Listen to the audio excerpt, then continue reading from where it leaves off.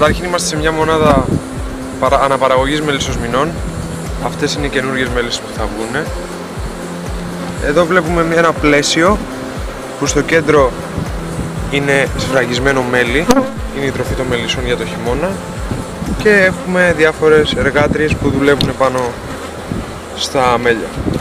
Κάθε... Σε μια κυψέλη. Κάθε μία κυψέλη έχει 10 κυρίθρες, 10 κεριά μέχρι που ο πληθυσμός της αυξάνεται παραπάνω και χρησιμοποιούμε όροφο κυψέλης που έχει άλλα 10 κεριά.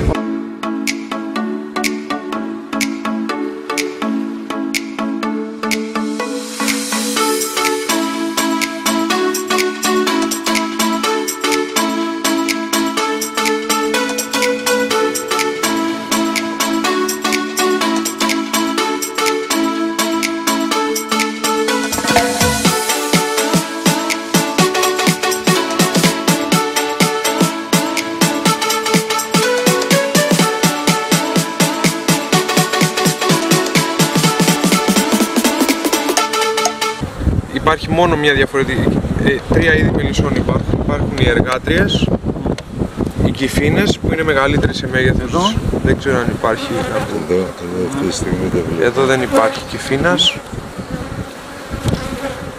Και η βασίλισσα. Αυτός, εδώ αυτό που βλέπουμε, το περίγραμμα, είναι ο γόνος. Εδώ μέσα γεννιούνται οι μέλισσες διαδικασία για να έρθετε εδώ ποια είναι; Πρώτον βάζετε τη στολή όπως βλέπουμε. Βάζουμε στολή. Ναι. Απαραίτητο είναι το να ανάψουμε ένα καπνιστήρι. Ναι. Γιατί ζαλίζει τις μέλισσες και η γύρι στα, πόδια της μέλισσας που πεθαίνουν από τα Πού είναι; Εδώ. Εδώ αυτή τη στιγμή είμαστε στην περιοχή Ψαλίδη που ευδοκιμεί και είναι ανθισμένο αυτή τη στιγμή το θυμάρι. Γι' αυτό και βρισκόμαστε εδώ. Αυτή είναι η φιλοσοφία. Ναι, ναι, ναι.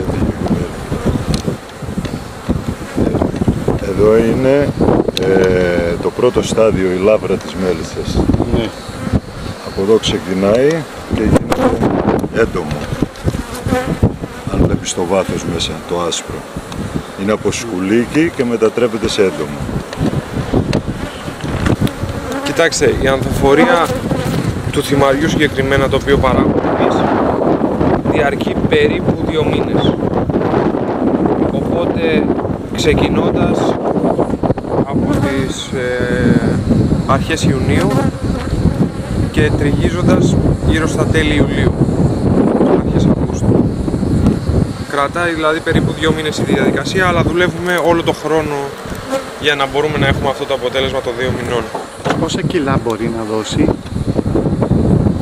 Ε, κοιτάξτε, εξαρτάται πάντα από το πόσο καλή θα είναι η ανθοφορία σε μια χρονιά αλλά ένας μέσος όρος είναι γύρω στα 12 με 14 κιλά ανακυψέλη το χρόνο. Πώς είναι η κίνηση γενικά, το μέλι εδώ στην κοινωνία; Κοιτάξτε, η αγορά το ότι υπάρχει μεγάλο πρόβλημα γενικά είναι αλυσίδα όλα, δηλαδή το ένα ακολουθεί το άλλο. Οπότε και το μέλι σαν κλάδος έχει πληγεί και οι πωλήσεις του έχουν πληγεί και λόγω της μείωσης του τουρισμού φέτος από το κορονοϊό κτλ. Είναι αναπόφευκτο γιατί όλα είναι